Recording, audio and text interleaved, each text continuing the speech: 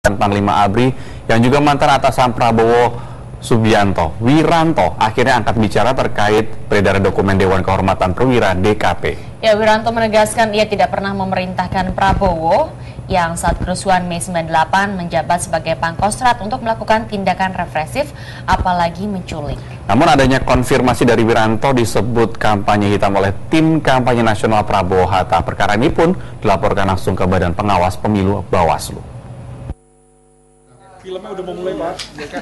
Setelah lama tidak berkomentar, mantan Panglima ABRI Wiranto yang tidak lain mantan atasan Prabowo Subianto akhirnya buka suara terkait terkuaknya dokumen Dewan Kehormatan Perwira atau DKP.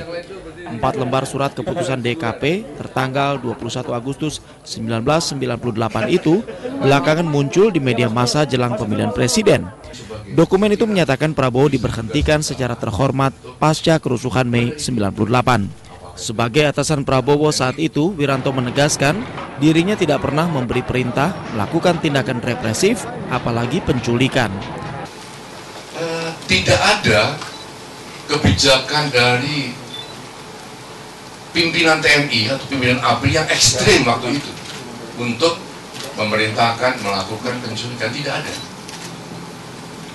Dan pada saat saya dialog dengan Pak Prabowo Subianto saat itu pada saat saya menanyakan ke mana? Kenapa melakukan hal itu? Maka saya yakin bahwa itu dilakukan atas inisiatif sendiri atas dasar analisis keadaan yang berlaku saat itu. Namun usai konferensi pers yang dilakukan Wiranto, pihak tim kampanye nasional Prabowo Hatta pun langsung melaporkan hal tersebut ke pihak Badan Pengawas Pemilu atau Bawaslu. Mereka mengatakan jika konvers yang dilakukan Ketua Umum Hanura tersebut merupakan kampanye hitam yang menyerang Prabowo Subianto.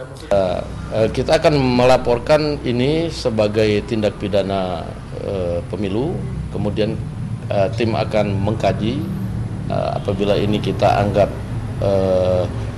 cukup sebagai kebohongan publik, kita akan laporkan pidananya juga ke Mabes Polri dan apabila ada kemudian pelanggaran pelanggaran yang dilakukan pada saat menjabat kami akan laporkan ke pusat polisi militer. Kasus ini sebenarnya kasus lama yang kembali mencuat jelang Pilpres 2014. Selain itu, kubu Prabowo Hatta menilai tayangan salah satu televisi swasta mendiskreditkan Prabowo sehingga membentuk opini negatif kepada publik. Putra Mahendra dan Yanto Sukma melaporkan dari Jakarta.